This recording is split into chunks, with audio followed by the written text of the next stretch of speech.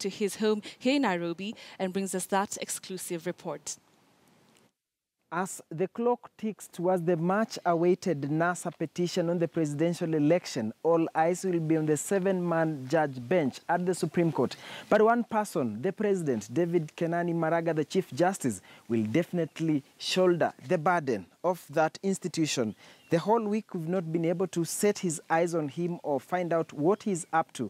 We are giving a final try behind these gates. Let's see if we'll be lucky this time. At his home in the serene leafy suburb here in Karen, we find the President of the Supreme Court and Chief Justice David Kenani Maraga seated under a shade. It's not an ordinary Friday for him. He's deeply buried in files as he peruses every single document before him for now. Come Saturday from 7 p.m., the Chief Justice, in his capacity as the President of the Supreme Court, will lead his six other colleagues as they begin hearing the presidential petition number one of 2017, that of Raila Odinga and Kalonzo Musyoka versus IBC, its chairman Wanyonyi Wafula Chebukati and President Uhuru Kenyatta. The seriousness of the big task ahead has seen the CJ just like his colleagues, retreat and prepare in seclusion away from the hustle and bustle of his office.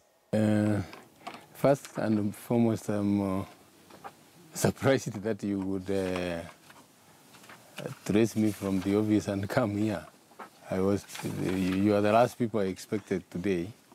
It's not a scheduled interview, so it will have to be brief.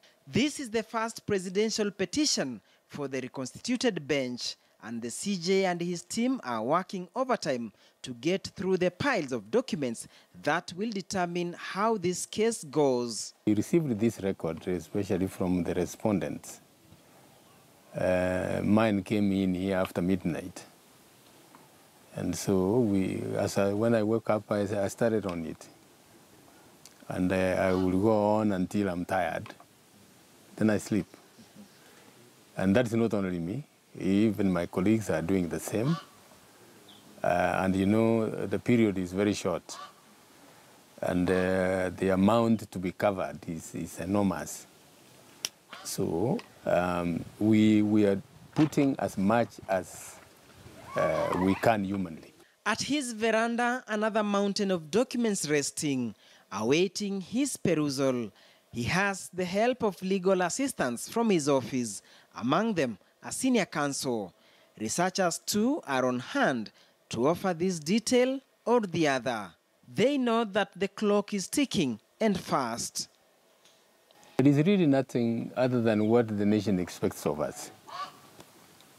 As the Supreme Court, we are doing our very, very best uh, to comb through these records and see the evidence each party has presented before us. And of course, decide the case on the basis of the evidence before us and the law. And, uh, and uh, that we will do on, on Friday first. Yes, that promise I can give you, we are going to do it. I mean, we don't have a choice. The CJ, who is leading a presidential petition for the first time, knows this is high stakes case. So is he feeling the pressure?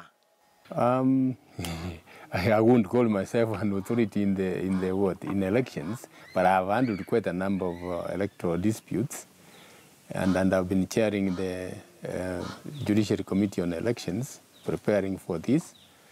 Uh, all the judges of the Supreme Court have handled uh, what election disputes before, so this is not anything new. But then, of course, there, there are challenges which come. There are some particular facts which, which have come in this petition which were not there in the, in the previous petition. And, and that is, uh, that's how it is. Case, uh, cases are not normally the same. We decide cases on case-to-case -case basis on the evidence presented before us. Because of the limited time, the Chief Justice and his legal assistants could not even break for lunch and had to be content with some snacks.